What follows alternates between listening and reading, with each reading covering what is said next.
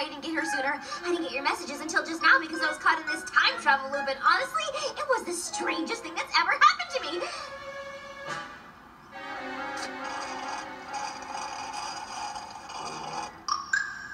Make that the second strangest.